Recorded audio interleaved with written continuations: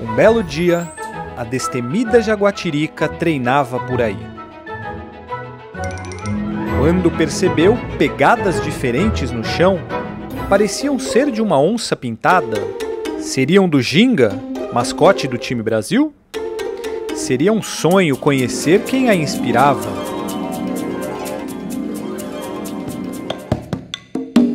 Não muito longe dali, Ginga estava se exercitando com afinco. Quando também percebeu pegadas diferentes. Pelo tamanho, eram de outro felino. Decidiu seguir as pistas. Os dois procuraram, procuraram, procuraram, até que se encontraram. A jaguatirica ficou muito feliz e pediu a ginga: Quero ser ágil, veloz e me desenvolver nos esportes como você. Me ajuda!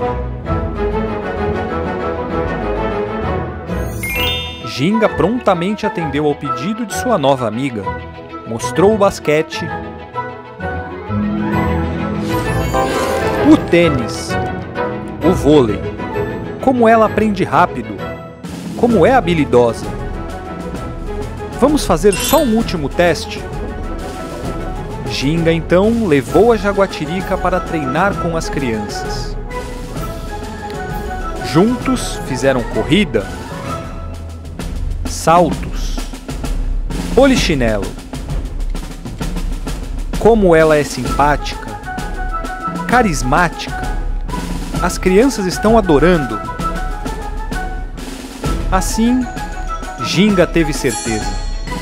Ela estava pronta para uma grande aventura. Você será a nova mascote dos Jogos da Juventude, um evento multiesportivo organizado pelo COB que reúne os melhores atletas jovens do Brasil. Agora, nossa querida Jaguatirica só precisa de um nome. E você será muito importante nessa missão.